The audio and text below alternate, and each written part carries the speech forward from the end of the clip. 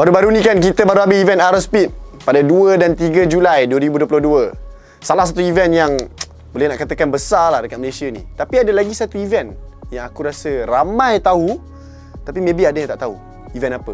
Retro Havoc. Ha, siapakah founder dia? Siapakah dia punya organizer? Jom hari ni kita tengok macam mana Retro Havoc ditubuhkan.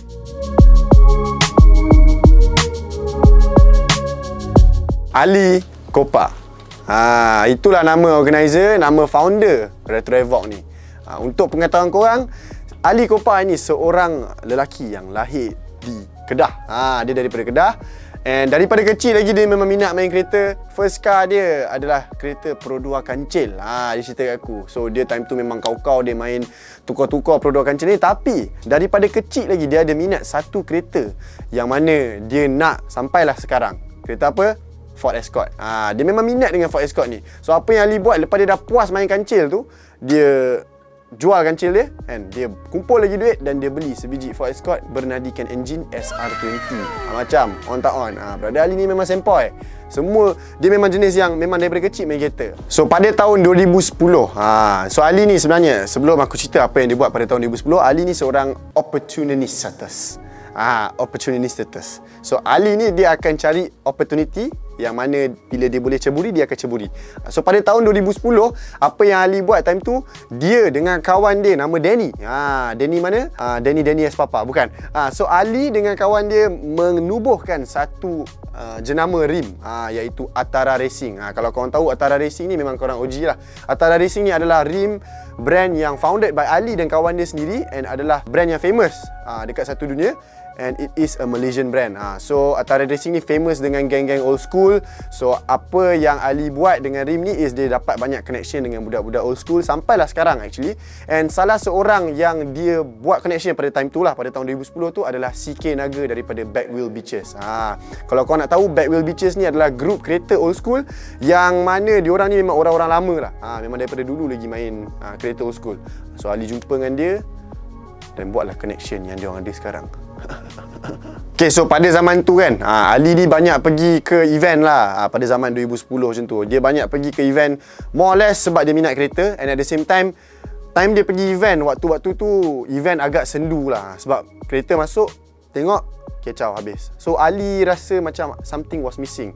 So apa yang Ali buat, uh, pada time tu, tahun 2011, dia keluarkan idea untuk buat satu event, iaitu event dia sendiri. Ha, time planning dia lama. Ha, 2011 baru keluar idea. Pada tahun 2013 keluarlah nama Retro Havoc tu yang melekat sampai sekarang. Sampai sampai sampai hari ni lah dia pakai nama Retro Havoc tu. Konsep event Ali ni senang. Dia nak event yang Havoc yang bising, ada revving, ada drift, ada bising-bising kan, ada letok-letok apa semua bagai. So, pada tahun 2014, 29 Mac 2014, Ali merealisasikan impian dia untuk buat event Retro Havoc ni. So untuk first event uh, Retro Havoc ni, uh, apa yang mengejutkan orang-orang ramai dekat luar sana adalah Ali Kopa organize event Retro Havoc ni dekat RAC Skypark Subang. So tak ada siapa lagi pernah buat uh, event kereta dekat Skypark dekat uh, hangar kapal terbang tu kan. Selalunya event ni dekat parking lot je. Uh, so sebanyak 450 participant yang Ali pilih handpick sendiri. Ha pada zaman tu mana ada phone kan? Eh, tak ada macam lah lama sangat kan kena buka buku kuning kan. Tak ada. Ha, so Ali dia handpick sendiri 450 biji kereta untuk join event dia dekat Retro Evoc yang first kali dekat RAC Skypark Subang. Ha, so untuk event yang pertama ni guest list untuk Retro Evoc sangat-sangatlah power. Ha, untuk aku memang power. First event kau tahu dia bawa siapa? Dia bawa Shoji dan juga Toshi.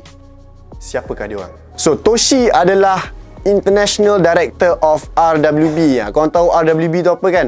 Rockwell Biograph. Ha, yang mana kau tengok Porsche buat white body tu ha. Dia lah International Director, Toshi. Shoji, siapakah Shoji? Shoji ni pula adalah car restoration punya specialist daripada Star Road Japan. Ha, bengkel Star Road Japan ni sangat-sangatlah famous kat Jepun untuk buat classic car restoration dekat Jepun. Ha, kalau event pertama pun dah gila apa jadi dekat event-event seterusnya? Jom kita tengok. Untuk tahun 2015, siapakah list guest dia? Salah seorang legend, ah, legenda iaitu Daijiro Inada. Siapakah Daijiro Inada? Daijiro Inada ni adalah founder kepada D1GP. Kalau korang tak tahu D1GP tu, D1GP adalah international drift competition yang ada kat satu dunia sekarang ni.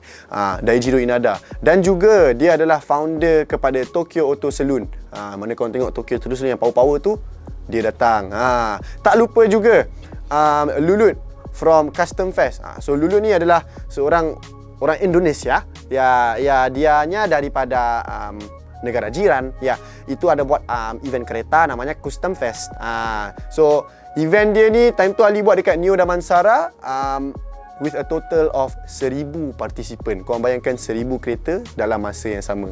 Ha, macam itu baru tahun 2015 jom kita tengok yang next pula. 2016 event Retro Evoc yang untuk aku personally lepas aku dah study event Retro Evoc ni inilah yang paling best. Kenapa?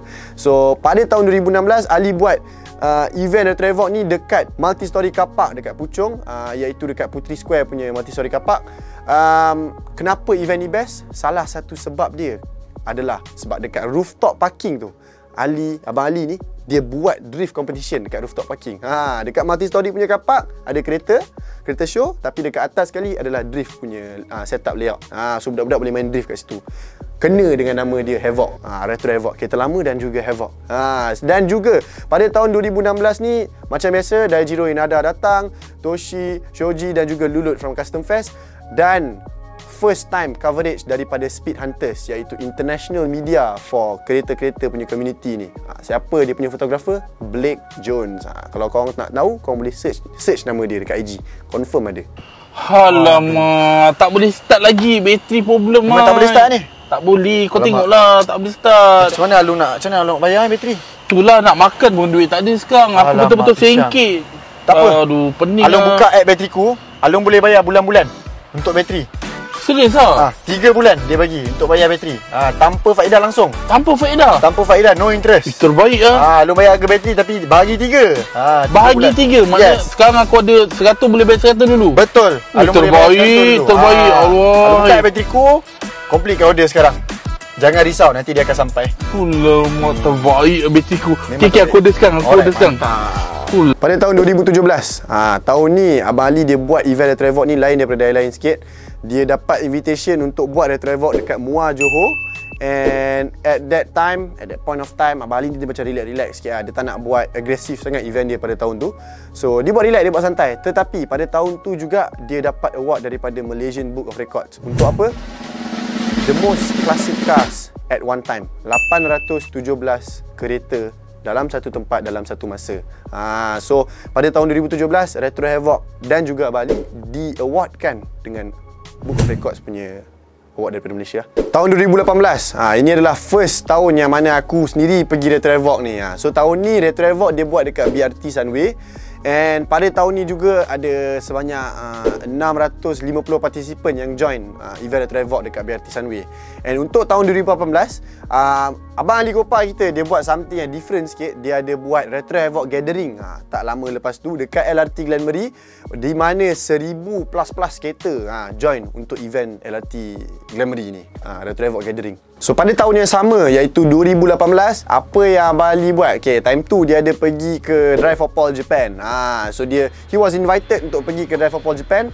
And waktu dekat Drive for Paul Japan ni betapa besarnya kabel Abang Ali ni dia dapat duduk makan sebelah Cody Walker. Ha, macam korang ada tak? Dia ada. Ha, dia dapat duduk sebelah Cody Walker. So apa lagi time tu?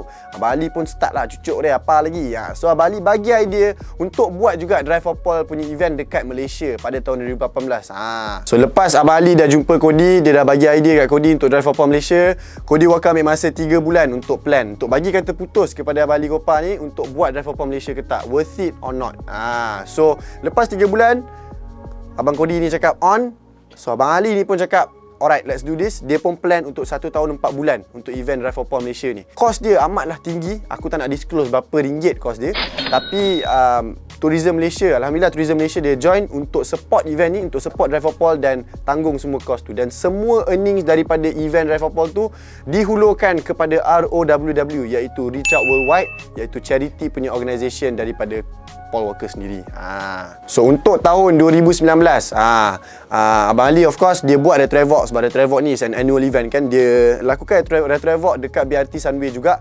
Tetapi um, towards the end of the year pada nak dekat-dekat akhir tahun tu dia pun um, buat event uh, Drive for Paul yang dia dah plan untuk satu tahun 4 bulan tu lah. So event berjalan dengan lancar. Uh, Ron Celestine datang untuk cover daripada Spianter international media punya coverage dan daripada event tu um, Retro Havoc sendiri kiranya organisation yang organize Drive for Paul tu dapat raise sebanyak RM 148,000 yang diberikan sepenuhnya kepada ROWW. Ha, untuk pengetahuan korang, uh, Drive for Paul Jepun dapat earn sebanyak 128,000.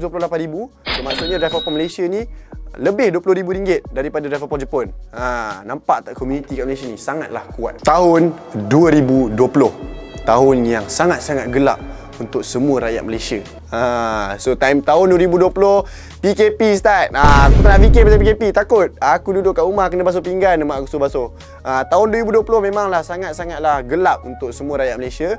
So ia juga gelap untuk Abang Ali dan juga Retro Evoc. Ha, so untuk 2 tahun Retro Evoc tidur kejap. Tetapi pada tahun 2021 uh, Abang Ali dia ada buat um, satu e-showcase. Uh, e-showcase di mana kereta-kereta mana-mana gambar kereta yang korang ada korang boleh bagi dekat Retro Evoc dan dia ada buat competition um, from the internet lah. So sebanyak 3000 participant join untuk event uh, Retro Evoc e-showcase ni. Uh, so dia tak mematikan Retro Evoc waktu PKP tetapi menghidupkan dengan e-showcase adapt or die. Okay, so pada tahun 2022, uh, tak silap aku 29 Januari 2022, uh, Abang Ali ada buat satu event Retro Evoc untuk menghidupkan kembali um, event Retro Evoc yang dah lama tidur. So tahun ni lah uh, 2022, awal tahun itu dia caterkan event tu untuk orang yang dah register pada tahun 2020 yang dah bayar, yang dah register. Termasuklah aku, aku pun dah bayar dah register untuk tahun 2020 so kita masuk untuk untuk memenuhkan event tu. Tapi time tu event tu tak ada um, artis-artis daripada Jepun tak ada special guest. Tapi untuk korang yang nak jumpa Daijiro Inada untuk korang yang nak jumpa Masaki Sata untuk korang yang nak jumpa Akira Ida dia akan datang pada 30 hari bulan Julai. Ha, tak lama dah. So, Abang Ali ada buat Retro Evo Encore Edition ha, iaitu pada 30 hari bulan Julai tahun 2022 dekat E-Curve um, dekat E-Curve punya parking. And kalau korang nak tengok detail boleh pergi ke IG Retro Evo iaitu yang tertera di sini. So, see you there. Aku akan buka booth kereta apa aku nak bawa. Korang relax, santai. Apa-apa jangan lupa like, subscribe dan share. See you in the next episode. Ciao.